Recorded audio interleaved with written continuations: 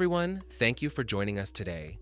In this tutorial, you will learn some camera tips in V-Ray for Rhino.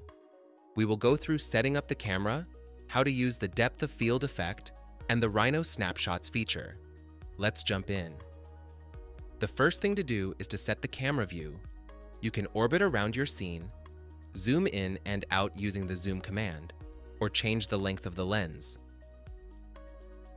Once you find an appealing camera angle, you can save it as a named view. I will start the V-Ray interactive render mode to see the results.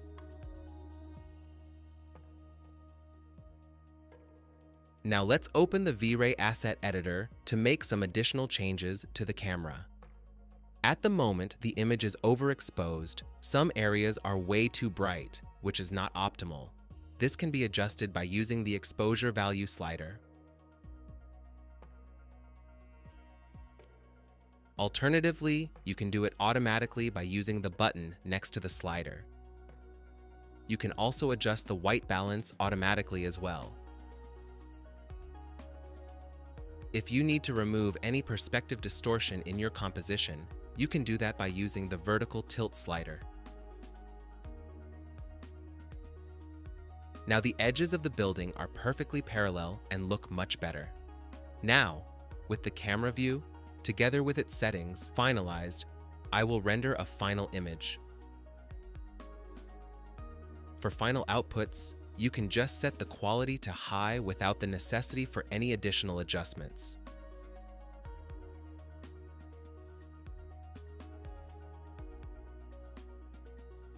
But what if you want to create a nighttime scene without creating a new separate file? That can be easily done with the snapshot feature. It allows you to save multiple variations of your scene and quickly switch between them. You can change the scale and position of models, adjust materials, lights, and much more. Go to the Snapshots panel. First, create a snapshot and call it Daytime.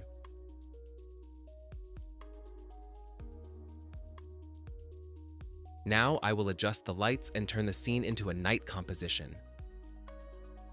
From the asset editor, I will disable the V-Ray Sun and turn on this dome light that has been created in advance.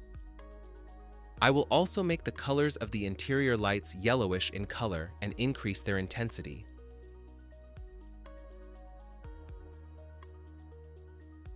Lastly, unhide these layers that have additional light sources. Now this variation of the scene can be saved in the Snapshots panel and I call it Nighttime. You can create multiple variations and quickly switch between them and any adjustments you have created to the lights, materials, or layers will be applied automatically. Let's render to see the results. In this final part of the video, I want to showcase how to set up the depth of field effect and control the bokeh effect. Here, I have set a different camera. First, the depth of field needs to be enabled, which is done from the asset editor. You have multiple ways to determine the focus of the camera. I will use the fixed distance mode. You have to pick an object that you want the camera to focus on. First, make sure Snap by Vertex is enabled. This will help you precisely choose the focus target. Then click on this target icon and left-click on an object of your choice. I will pick the lantern, and now the camera is focused on it.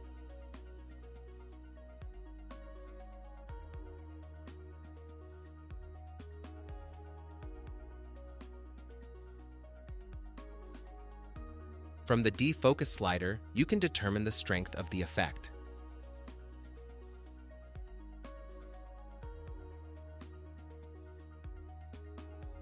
Now, when the depth of field is set up, we can go to the bokeh settings.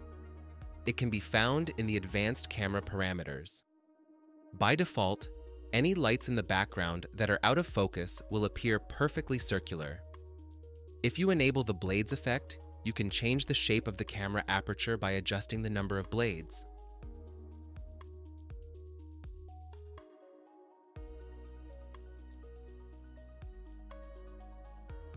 From the rotation slider, you can define the rotation of the blades. If you want to control the brightness on the edges, You can do that from the center bias controller. Positive values will make the outer edges of the bokeh effects brighter. And finally, from the anisotropy, you can stretch the bokeh effect vertically or horizontally, which is a typical characteristic of anamorphic lenses. Thanks for watching until the end.